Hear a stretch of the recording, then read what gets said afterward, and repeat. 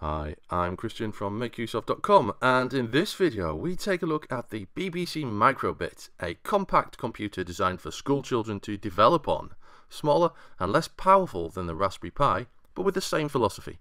Released by the BBC as part of their Make It Digital initiative and backed by various well-known names in tech, the Microbit was aimed initially at schools and is now generally available to children and adults who want to learn how to code. In the box, you'll find the modest Microbit, a tiny computer that makes the Raspberry Pi look enormous.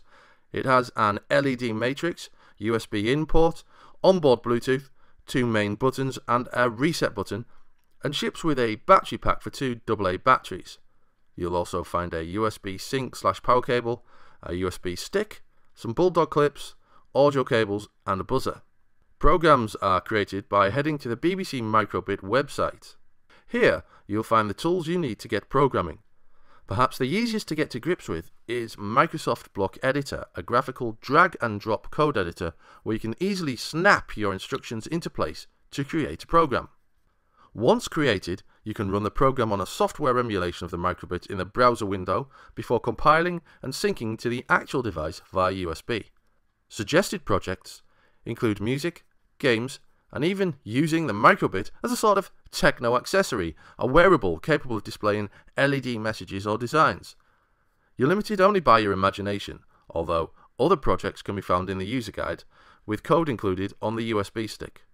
You also have the option of syncing the microbit via Bluetooth to your Android or iOS device, and accessing the online coding tools that way, syncing your new program to the microbit over the Bluetooth connection.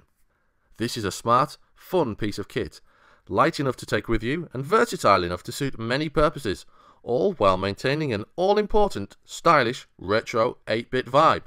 Microbit might be a low-spec and low-price piece of kit, but it nevertheless puts the building blocks of coding and software development into the hands of your children. That can't be a bad thing. Don't forget to check our full review at makeuseof.com for your chance to win your very own BBC Microbit.